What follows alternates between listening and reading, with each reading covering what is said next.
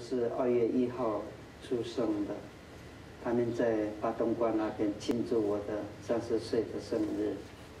啊，过天的话就受伤了，那经过磨脚的时候，那再断了嘛。啊，五六个人日本人把把我从从河河河河上那下面从拉拉上去。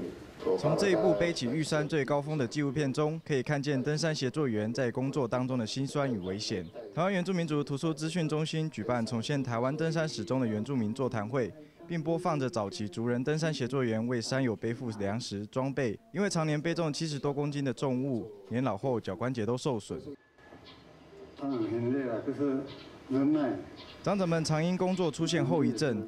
就有后备的登山协作员，为了保障主人工作权益，成立了布农卡里布岸登山社，让登山协作员的工作能够制度化。现在又成立一个背工背工公司嘛，呃，想想说把那些愿意从事背工工作的这群人统一管理，统一接受这个工作，然后再再平平均的把这个工作均摊，然后把能力划分清楚。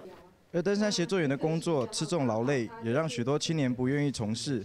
就有登山协作员也表示，森林中有许多智慧与产物，恐会因此流失。现在的小孩子只知道说在在山下玩电动啊，叫他上山他不会上山了，这环境的大改变了。